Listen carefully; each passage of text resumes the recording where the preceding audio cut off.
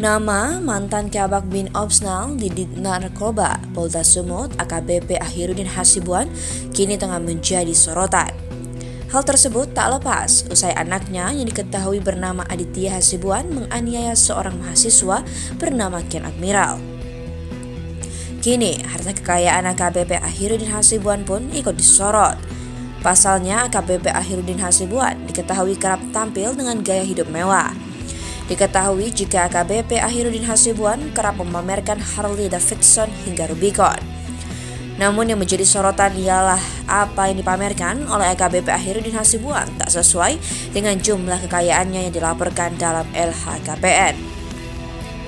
Tercatat AKBP Akhirudin Hasibuan hanya memiliki harta kekayaan sebesar Rp460.548.644 rupiah. AKBP Akhirudin Hasibuan terakhir kali melaporkan kekayaan pada tahun 2021 yang lalu saat masih menjabat sebagai Kanit 1 Subdit 1 di Res Narkoba Polda Sumatera Utara. Berikut data harta pelaporan LHKPN 24 Maret 2021, pelaporan LHKPN kenaikan atau penurunan jumlah tanah seluas 566 meter persegi di kabupaten atau kota Medan Hasil sendiri Rp46.330.000. Mobil Toyota Fortuner minibus tahun 2006 hasil sendiri 370 juta rupiah dengan sub total 467 juta 548.644 rupiah.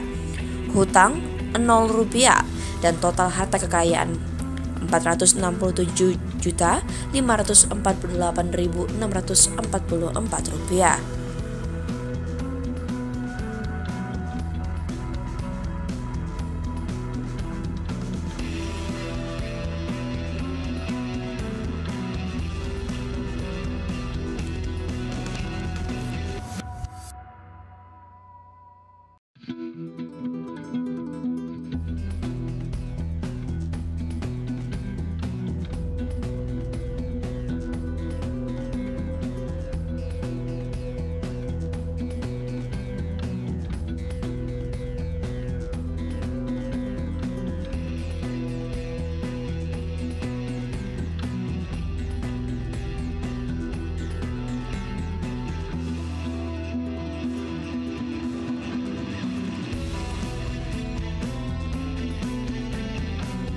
Terima kasih telah menonton. Jangan lupa like, share, subscribe, dan klik lonceng ya.